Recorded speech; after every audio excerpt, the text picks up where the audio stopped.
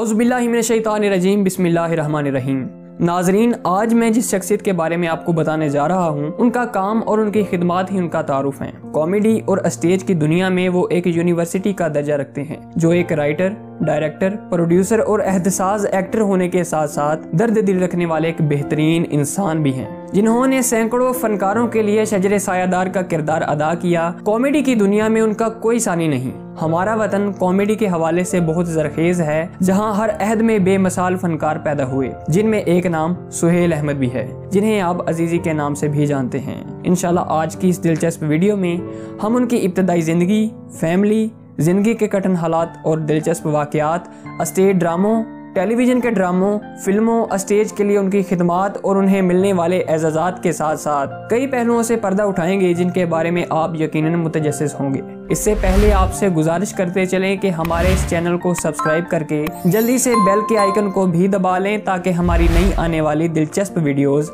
सबसे पहले आप तक पहुंचें। सुहेल अहमद यकम मई उन्नीस को पहलवानों के शहर गुजरावाला में पैदा हुए। इस शहर ने मुल्क को कई लाजवाब कॉमेडियन से नवाजा है। उन्होंने एक पढ़ी लिखी और मजहबी फैमिली में आँख खोली।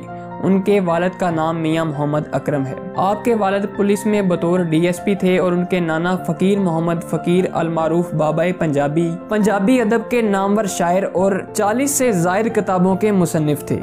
उनके वालद उन्हें डॉक्टर बनाना चाहते थे। उनका तबादला पंजाब के मुख्तलिफ़ शहरों में होता रहता था। वो एक ईमानदार पुलिस ऑफिसर थे। सुहेल अहमद चार भाई हैं। जब उनके वालिद का तबादला लाहौर में हुआ तो उन्होंने गढ़ी शाहू के इलाके में रिहाइश इख्तियार की, जहाँ से सुहेल अहमद की इब्तदाई तलीम का आगाज़ हुआ। उन्हें बचपन से ही टीवी पर आने का बहुत शौक था, क्योंकि उनके नाना फ़कीर मोहम्मद फ़कीर अक्सर टीवी शोज़ में आया करते थे। बचपन में उन्होंने अपने स्कूल में पहली मरतबा एक्टिंग की।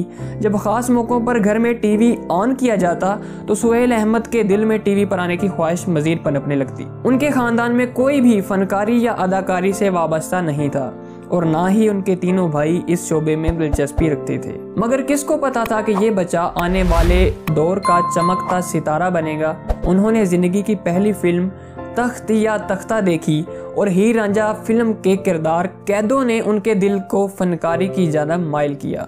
उनके वालद एक सख्त मिजाज पुलिस ऑफिसर थे, चुनाचे उन्होंने सुहेल अहमद को अदाकारी में जाने से सख्ती से मना कर दिया। घर वालों ने उन्हें एफएससी में दाखिला दिलवाया तकबिल में वो एक डॉक्टर बन सकें। मगर उनका रुझान पढ़ाई की तरफ़ कम और थिएटर के चक्कर लगाने में ज़्यादा हो गया।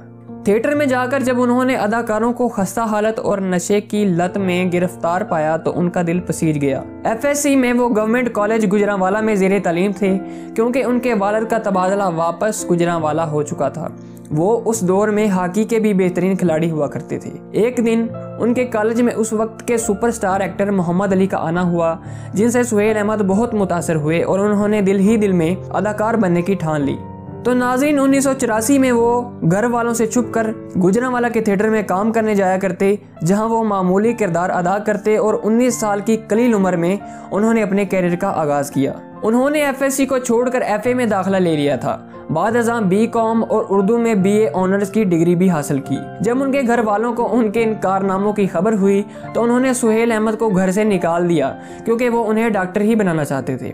गुजरावाला में उन्होंने कॉमेडियन मस्ताना के साथ स्टेज पर काम किया और बाबा शाद एजाज नामी एक इंसान से बहुत कुछ सीखा, जिसके बाद वो साल उन्नीस सौ अठानवे में लाहौर आ गए, जहाँ से उनकी स्ट्रगल का आगाज़ होता है। लाहौर थिएटर पूरी आबोताब से रवान था, जहाँ टीवी और फ़िल्म के बड़े नाम अपने फ़न का जादू जगा रहे थे और तहजीब और अदब की फ़िज़ा कायम थी।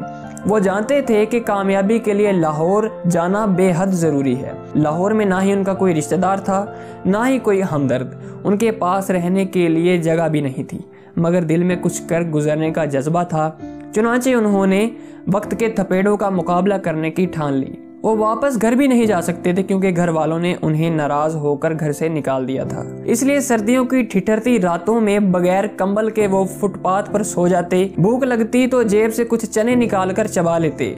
इसी तरह उन्होंने कई रातें फाकों को अपना हमराही बनाकर काटी। सच कहते हैं कि दाना खाक में मिलकर ही गुले गुलजार और सोना आग में जलकर ही कुंदन बनता है। लाहौर में उन्होंने पहला ओपन एयर थिएटर, कांपती टांगों के साथ जमाला ते कमाला परफॉर्म किया, जिसमें उन्होंने मामूली किरदार अदा किया। इसी तरह उन्होंने कई ओपन एयर थिएटर्स में काम किया और बड़े अदाकारों से सीखते चले गए।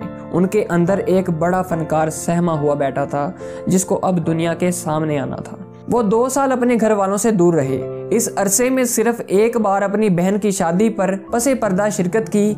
इसके बाद उनकी ज़िंदगी का सुनहरी दौर शुरू होता है जब वो थिएटर के सितारों में जगमगाने लग गए। नुसरत ठाकर ने जब उन्हें स्टेज पर मयारी काम करते देखा तो उन्हें टीवी पर काम करने की पेशकश की और अपने ड्रामा, सीरियल आयना और खिड़की में कास्ट किया। उस वक्त पीटीवी पर काम करना कोई आम बात नहीं थी, क्योंकि पूरे मुल्क में एक ही टीवी चैनल था, जिसका दौर दौरा था। थिएटर पर वो कॉमेडियन और टीवी पर ज़्यादातर संजीदा और मनफी किरदारों में नज़र आए। थिएटर पर उन्होंने भांड से लेकर पुलिस अफसर तक और ख्वाजा सरा से लेकर फीके तक जो भी किरदार नभाया, वो यादगार बन गया। स्टेज पर उन्होंने अदाकारी के साथ साथ डायरेक्शन भी दी। वो लाहौर थिएटर की जान बन चुके थे।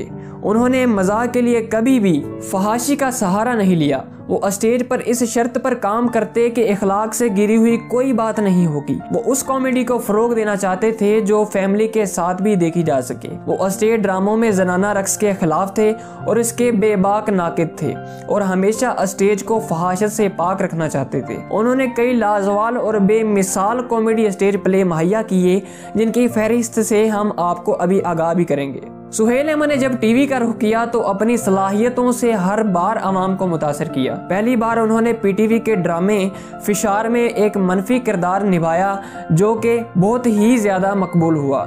एक कॉमेडियन के लिए ये एक बहुत बड़ा चैलेंज था कि वो खुद को मनफी किरदार में ढाले, लेकिन उन्होंने साबित कर दिया कि वो एक वर्जाटाइल फनकार हैं। वो हर फन मोला थे। टेलीविज़न में उन्होंने कराए के कातल से लेकर जागीरदार तक और अंधे विलन से लेकर अजीजी तक जो भी किरदार किया, बेमिसाल है। टीवी के बाद जब उन्होंने फ़िल्म इंडस्ट्री में कदम रखा तो वहाँ पर भी अपनी सलाहियतों का लोहा मनवाया। उनकी पहली फ़िल्म, गोरी दिया चांजना थी। इस फ़िल्म की हीरोइन बाबरा शरीफ और नदीम इस फ़िल्म के हीरो थे। जो कि उस वक्त के सुपरस्टार थे। टीवी और फ़िल्म की कामयाबी के बाद उन्होंने थिएटर से मोहब्बत कम ना होने दी और उसे अपना ओढ़ना, बिछोना बनाए रखा। लेकिन जब थिएटर के बड़े नाम दुनिया फानी से रुखसत हुए और बाकी मांदा फनकार टीवी और फ़िल्म से जुड़ गए तो थिएटर पर फहाशी का दौर शुरू हो गया, जो कि सुहेल अहमद को किसी तौर कबूल ना था। चुनाचे उनको थिएटर को खैराबाद कहना पड़ा।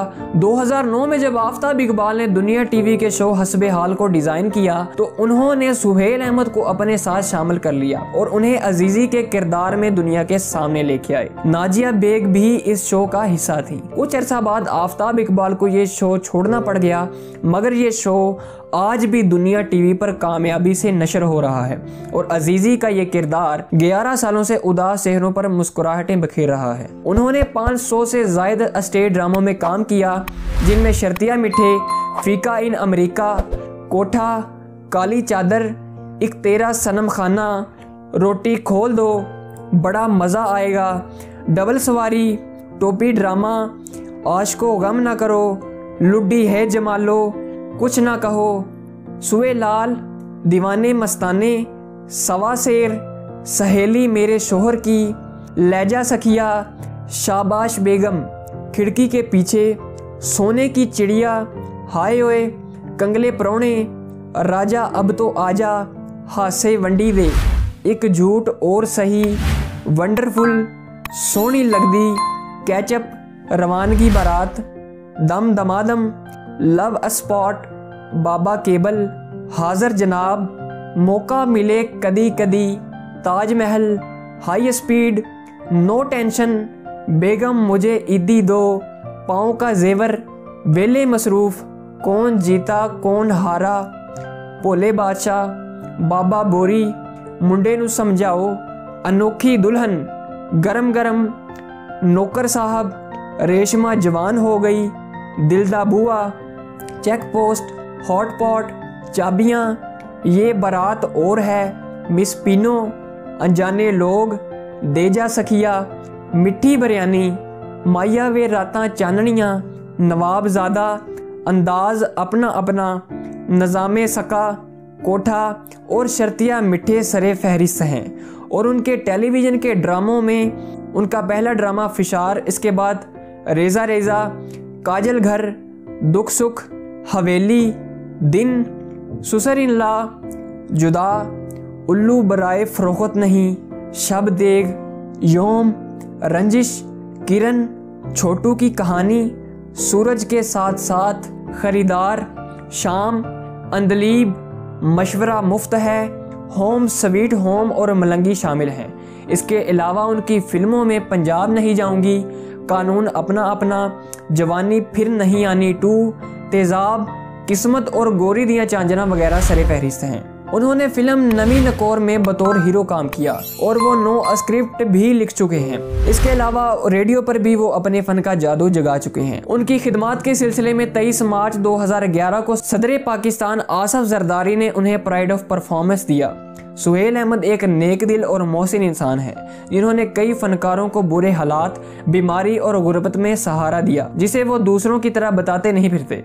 हर फनकार यही कहता पाया गया कि उन्हें किसी ने याद नहीं रखा सिवाय सुहेल अहमद की। सुहेल अहमद ने अपनी साथी स्टेज अदाकारा रुखसाना से शादी की, और उन्होंने टोटल तीन शादियाँ कर रखी हैं। वो आजकल मॉडल टाउन लाहौर में अपनी फैमिली और बच्चों के साथ खुशहाल ज़िंदगी बसर कर रहे हैं और हसबे हाल टीवी शो में अपने फन का जादू जगाते जा रहे हैं। हमारी दुआ है कि अल्लाह ताला उन्हें सेहत वाली लंबी ज़िंदगी अता फरमाए और वो इसी तरह खलके खुदा के चेहरे पर मुस्कुराहटें बखेरते रहे। नाजरीन, आप सुहेल अहमद के बारे में कुछ कहना चाहते हैं तो कमेंट्स में ज़रूर बताइएगा। और इसी तरह की मजीद अच्छी अच्छी वीडियोस के लिए हमारे इस चैनल को जल्दी से सब्सक्राइब कर लीजिए। और अगर आप अपनी किसी पसंदीदा शख्सियत के बारे में जानना चाहते हैं तो कॉमेंट्स में हमें ज़रूर बताइएगा। मिलते हैं इनशाला अगली नई वीडियो में। अपना भरपूर ख्याल रखिएगा, दुआओं में याद रखिएगा। अल्लाह हाफिज पाकिस्तान जिंदाबाद।